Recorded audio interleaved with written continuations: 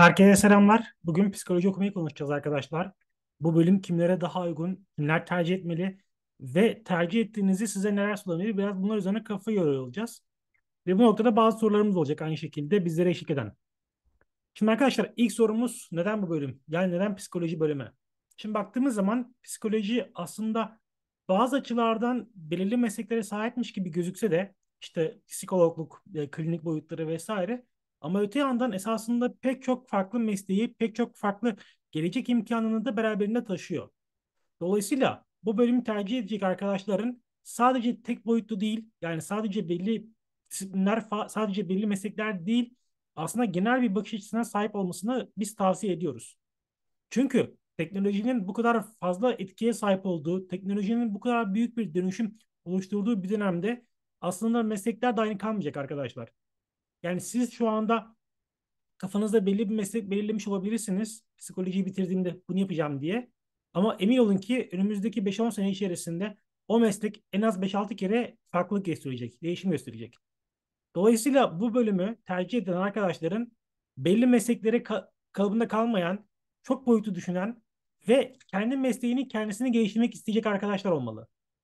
Yani şu anda belki görüyorsunuzdur psikolog ilanı vesaire sağda solda ama emin olun artık giderek o mesleklerin niteliği azalıyor. Artık sadece belli bir iş ilanına başvurmak değil, kendi işinizi kendinizin geliştirip şirketlerin sizden bazı hizmetler alması önemli hale geliyor. Dolayısıyla gerek psikoloji olsun, gerek TM'deki diğer bölümler olsun, iktisat, işletme vesaire hepsinde bu durum geçerli. Peki neden bu üniversite? Şimdi tabii bu noktada iki tane geçerli sebep var. Bizim denk geldiğimiz. Birincisi şu oluyor. Arkadaşımız hali hazırda bu şehirde olabilir ve ailesiyle kalmak için ya da şehirde genel olarak kalmak için burayı tercih edebilir. Puanı buranın üzerinde de olsa ya da puanı bezer seviyede de olsa. Bunun akabinde bir diğer gerekçe de tabii ki halihazırda başka bir şehirde de olsa öğrenci arkadaşlar puanı buraya yetiyordur. Buraya e, motive olmuştur ve bu sebeple gelebilirler bu şehre ve bu üniversiteye. Bence ikisi için de iyi bir üniversite ve iyi bir şehir aslında. Dolayısıyla hem kampüs hayatı olsun hem üniversite ve şehir arasındaki bağlantı olsun. Bence kabul edilebilir ve beklentinizi karşılayacak bir okul olacaktır. Peki üniversitenin artıları ve eksileri neler? Biraz buna kafa yoracak olursak bence en önemli artısı aslında akademik kadro. Ee, ve bunun akabinde aslında ders programı çok çok yoğun olmadığı için bence sizin diğer boyutlarla kendinizi geliştirmenizi sağlayacaktır. Ve isme, yapmak istediğiniz sizin gelişiminizi bir tık yukarı çıkartacak, birkaç tık yukarı çıkartacak her şeyi besleyen bir yapıya sahip bence. Gerek ders programıyla gerek diğer yapılarla olsun. Bence bu sebeple iyi bir artı. Eksi olarak belki işte yarın bir gün kurumsal bir yere girerken üniversite etiketi bir soru işareti olur mu bilmiyorum. Ama çok zannetmiyorum da açıkçası. Ee, bu sebeple çok bir eksisinin olduğunu düşünmüyorum. Peki bu bölümü bitirdiğinizde hangi iş imkanlarını elde edebilirsiniz? Tabii ki halihazırda bu konuda verilen bazı yanıtlar var. İşte klinik psikolog e, bitirip üzerine master olarak bunu yönelebilirsin. Ya da işte bunun haricinde üniversitelerde çalışabilirsin. İşte akademi merkezlerinde, bunun haricinde danışmanlık merkezlerinde, e, psikologluk ofisleri pek çok şey sayabiliriz geleneksel anlayışta. Ama bizim kariyer apsidi olarak aslında bütün önerimiz, bütün yaptığımız eğitimlerde, danışmanlıklarda düşüncemiz ve yönelmemiz şu oluyor. Siz var olan kalıpların dışındaki şeyleri düşünün arkadaşlar. Ve burada ne olabilir? Mesela birkaç farklı disiplinle psikolojiyi birleştirip aslında yeni nesil kariyer imkanlarını oluşturabilirsiniz. Örneğin spor psikolojisi şu anda belli alanları içeriyor ama aslında siz orada bambaşka işler geliştirebilirsiniz. Ne gibi? Örneğin şu anda bir e-spor trendi var dünyada ve belli ki e-spor geçici bir furya değil aslında. Pek çok spor dalından daha fazla rağbet gören bir spor haline şimdiden geldi. İlerleyen yıllarda da futbolun bile aslında önüne geçecek bazı ülkelerde. Ve sizler bu sporun psikolojik tarafını, mental tarafını ele alabilirsiniz. Bu mesela başlı başına bir imkan.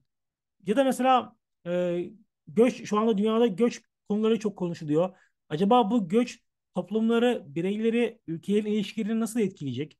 Bu konuda yapacağınız pek çok çalışmayla sadece bir psikoloji öğrencisi olarak değil, belki bir uluslararası ilişkiler mezunuyla, bir ekonomi mezunuyla aslında bir multidisipliner çok e, çeşitli, çok disiplinli bir yapı oluşturabilirsiniz ortaya. Zaten geleceğin dünyası aslında biraz buraya evriliyor. Yani birden fazla işi yapan insanlar olması. Dolayısıyla bunları yaptığınızda son olarak şunu söylemiş olayım. Bunları yaptığınızda pek çok imkanın karşınıza çıktığını göreceksiniz.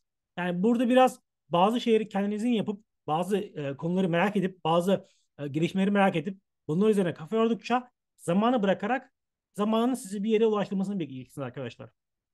Peki staj olanakları neler? Evet üniversitelerin bazı zorunlu stajları var ama bunlar maalesef çok yeterli değil zorunlu staj kapsamında. Dolayısıyla bizim tavsiyemiz şu oluyor. Üniversitenin başından itibaren hazırlık 1, 2 fark etmez. İlk başlarda ulaşabildiğiniz kadar firmaya ulaşın, startup, girişim vesaire bunlara ulaşın. Ve buralarda arkadaşlar gönüllü olarak staj yapın. Gönüllü çalışın. Ha, burada genelde şöyle bir e, gerekçe olabiliyor. Ya ben daha üniversitenin başındayım. Bir sosyal ortamımı kurayım denebiliyor. Ya da hani bu dönemde niye bedava bir şey veriyorum ki denilebiliyor. Bir emek niye bedava sarf ediyorum denilebiliyor. E, bu gibi karşıt argümanlar sunulabilir. Saygı da duyuyorum. Tabii ki herkesin kendi kişisel dünyası ama arkadaşlar şöyle bir şey var.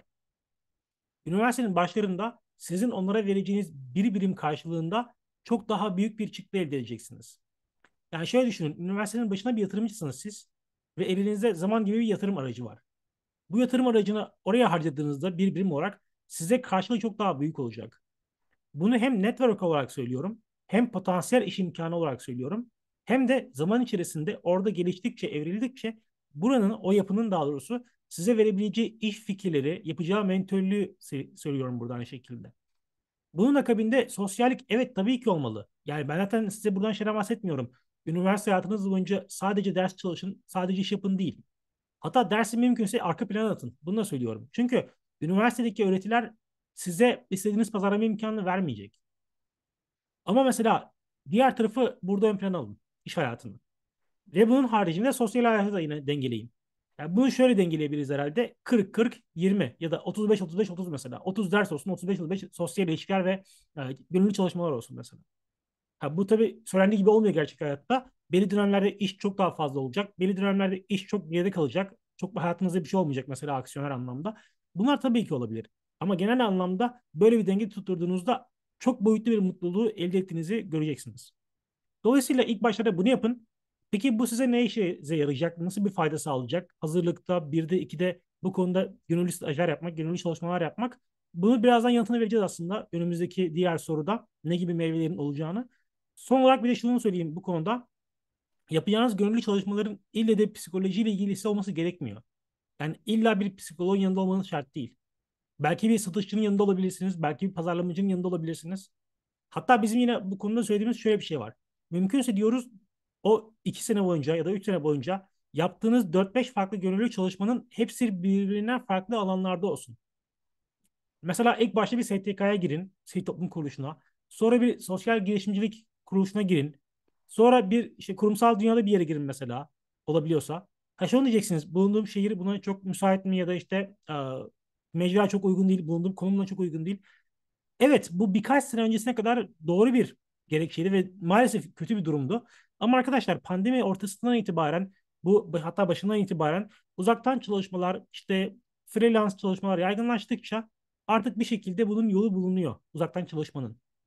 Ha bu nasıl olur derseniz bize yorum olarak yazın yapmak istediğiniz şeyleri. Bu konuda bir istişare yapabiliriz. Fikir fırtınası yapabiliriz. Acaba yapmak istediğiniz işte nasıl gönüllü staj yapılabilir? Uzaktan çalışma nasıl uygulanabilir? Biraz bunların üzerine beraber konuşuruz ve bir orta yol bence bulunacaktır. Buna çok problem değil. Yeter ki sizin burada bir motivasyonunuz oluşsun. Diğer sorumuz bölüm mezunları için yani psikoloji mezunları için ortalama maaşlar neler? İşte bu aslında bir önceki sorunun devamı gibi. Eğer siz üniversite başından itibaren staj yapmaya meraklıysanız, gönüllü çalışmalar içinde bulunursanız son iki sene illaki kendinize bir yerden iş teklifi aldığınızı göreceksiniz. Bu gönüllü çalıştığınız yerlerden olabilir. Oradaki patronların, işte kurucuların, psikologların tavsiyesi üzerine başka birilerinin yaptığı teklifler olabilir. Ya da zaman içerisinde kendi içeriklerinizi üreterek onun bir iş haline gelmesi olabilir. Ne olduğunu çok ilgilenmiyorum ama yine az önce belirttiğim üzere akışına bıraktığınızda bu süreç sizi bir yere ulaştıracak. Ve eğer bu süreci bu şekilde ilerletirseniz 3. 4. sınıftan itibaren asgari ücret seviyesinde bir maaşla işe başladığınızı göreceksiniz. Bu da mezuniyetten sonra genellikle asgari ücretin bir buçuk iki katı gibi maaşla sizi iş hayatına yönlendirecektir. Ha, bu genelde böyle mi oluyor? Maalesef genellikle böyle olmuyor. Niye? Çünkü genellikle arkadaşlar için üniversite arka, e, öğrencisi de yeni mezun arkadaşlar için üniversite hayatını bunlarla geçirmek çok e, zorunlu gibi bir şey gelmiyor. Hani zorunluluk hissedilmiyor bu konuda. Biraz daha kulüp faaliyetleri vesaire yapılıyor ve maalesef günün sonunda e, bu tarafta bizim vaat ettiğimiz durumlar oluşmuyor. Dolayısıyla ama şöyle bir şey var. Bunu yapan arkadaşların sonuç alma ihtimali çok çok yüksek. Yani bu süreci böyle işleyen, hazırlık 1-2'den itibaren bu tempoda ilerleyen arkadaşlar için sonuca ulaşmak çok kolay. Ama tabii yapar mısınız bunu? 2 sene, 3 sene bunu azmeder misiniz? Bilmiyorum. Bunu yaptığınızda elde çıktılar bu şekilde olacak. Benim alacaklarım genel olarak bu şekilde. Eğer bunların haricinde merak ettiğiniz ya da işte tartışmak istediğiniz bu konuşma içerisinde e, size yanlış bir şeyler varsa bunları bize yazabilirsiniz yorum kısmından. Beraber konuşabiliriz, tartışabiliriz. Belki bizim burada bir fikir fırtınamız sonucu başka bir şeyler oluşur, başka fikirler ortaya gelir. Bunların her birisi bizim için memnuniyet verici olacaktır. Bence sizler için de aynı şekilde öyle. E, bu videodan beslendiğinizi düşünüyorsanız, bu videonun size bir şeyler kattığını düşünüyorsanız videoyu beğenip kanalımıza abone olarak bize bu konuda destek olabilirsiniz. Önümüzdeki videoda görüşmek üzere arkadaşlar. Şimdilik hoşçakalın.